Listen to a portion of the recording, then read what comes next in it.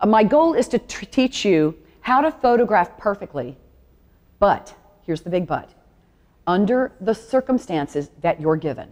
Now, do you see the difference in that? You know, I can teach you how to photograph perfectly, you know, perfect lighting, perfect scenario, but you see, we don't live in a perfect world. And because of that, we have things happen where maybe we had a two hour photo shoot and the bride's an hour and 45 minutes late. So we have 15 minutes now to do that two hour shoot.